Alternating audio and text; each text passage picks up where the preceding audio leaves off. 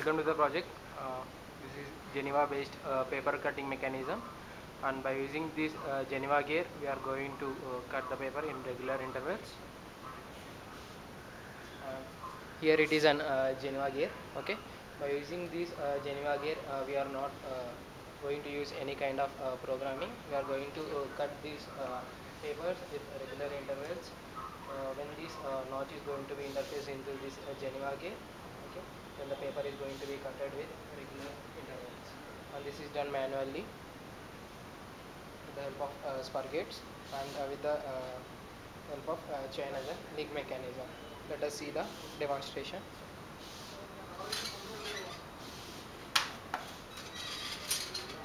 We can see uh, that the papers are going to be cutted at uh, regular intervals.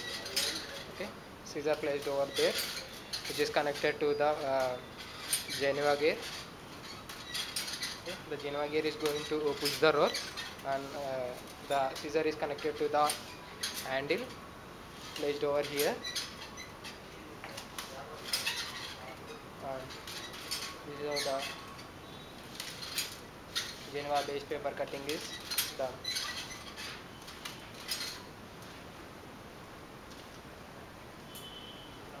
The papers are going to be cutted at regular intervals. Thank you.